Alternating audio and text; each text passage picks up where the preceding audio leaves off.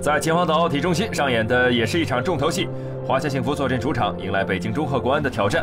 最近三轮，华夏幸福是强势反弹，两胜一平；而国安方面，施密特接管以来是五胜两平，保持不败。能否延续进攻端的状态？与施密特的高位逼抢战术，将是国安队客场抢分的关键。朴成转过身来，一脚打门。这次射门展现出了良好的竞技状态，进攻欲望非常的强烈。而且朴成在上个赛季报销之后，这个赛季很有证明自己的欲望。索里亚诺倒在罚球区内，这确实是应该判点球的犯规，人行，但是主裁判并没有判罚。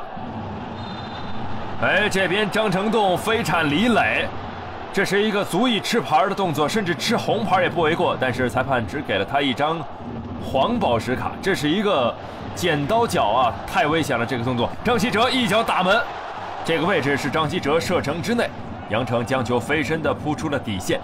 张稀哲完成这次射门之后，自己也是很遗憾，没有能够转化成进球。拉维奇这边，拉维奇射门，球进了，但是看看助理裁判的判罚，这球越位在先。双方下半场比赛异地再战，还是拉维奇点球吗？这是主裁判给了一个点球。杨志、江涛，包括李磊都很不满。于洋这球是先碰到了球，随后带倒了拉维奇，但是判罚已经发生，打门球进了，一比零，拉维奇他打中点球，河北华夏幸福在主场一比零领先北京中赫国安，本赛季的第十四粒联赛入球。尽管说杨志判断对了方向，但是没有办法阻挡皮球入网。来看看华夏幸福的这次快速反击，给到左路，尹洪博高速的插上，横传，李航打门，二比零，华夏幸福锁定胜局。李航的进球基本上帮助华夏幸福在主场全取了三分，那么他的脱衣庆祝肯定会吃到一张黄牌。这球尹洪博这边，其实国安队的防线已经门户大开，中间中路的防守已经没有人再出现在关键的位置上。